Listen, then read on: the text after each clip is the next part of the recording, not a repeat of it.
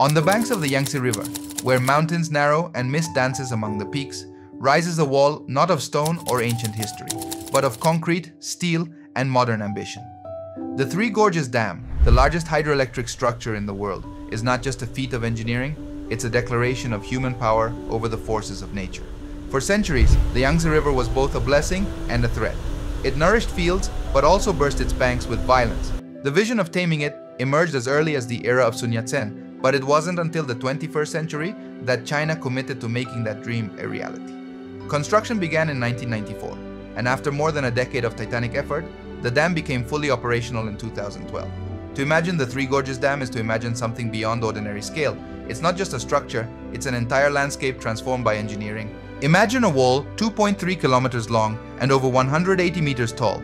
No video can truly convey the enormity of this colossus, holding back an artificial lake that spans over 1,000 square kilometers. Its scale defies comprehension. Even standing nearby, the mind struggles to grasp where it begins and where it ends. It's as if civilization had built a second horizon, a liquid border between the wild and the controlled. From a satellite's eye view, the dam appears like a line drawn by giants across the river's chest, straight, silent, monumental. Yet on the ground, it is alive, humming with turbines, echoing with the sound of cascading water, and swarming with teams maintaining the machinery that keeps the heart of this titan beating day and night. Building this structure was like assembling a colossal puzzle under pressure, Thousands of engineers and workers braved intense heat, torrential rains, and the technical challenges of rerouting a millennia-old river. Over 27 million cubic meters of concrete were used, enough to build a 6-meter-high wall encircling the planet. Inside the dam, 34 hydroelectric generators hum with power, producing over 22,500 megawatts of electricity. The figure is staggering. It can light up entire cities, as if they were mere lamps plugged into a single massive battery. When the reservoir first filled, the water level rose over 100 meters, submerging temples, villages, and ruins of ancient settlements. Archaeologists worked against the clock for years, excavating and documenting what the rising waters would consume. Other sites simply vanished beneath the surface, like unread books sealed forever. There were tales of last goodbyes beside the rising waters. Families lit incense and left offerings for ancestors whose tombs would soon be submerged. The dam didn't just contain a river, it rewrote the memory of a people.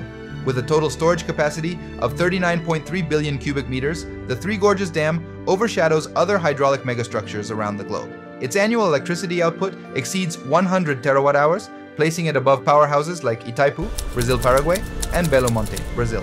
By comparison, the Hoover Dam in the United States produces around 4 terawatt hours per year, while Egypt's Aswan Dam generates about 10 terawatt hours. None match the scale of energy production and water control achieved by the Three Gorges Dam, which can regulate the river's flow to prevent floods that once devastated entire regions. The cultural impact was just as profound.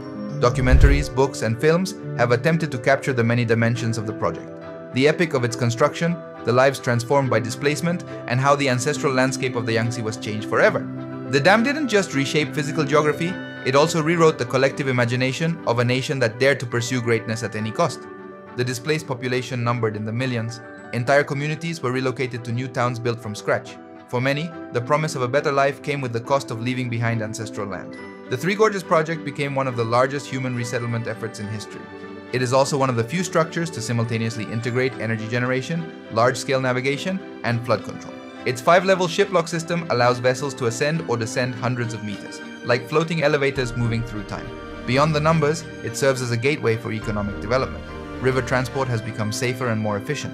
Goods now flow more freely along the Yangtze, turning once isolated cities into thriving hubs of commerce and industry. But every power has its price. The dam's environmental impact has sparked fierce debate, biodiversity loss, increased seismic risk, and disruption of the Yangtze's ecosystems. It's a reminder that even the most impressive achievements can leave deep marks on both geography and humanity.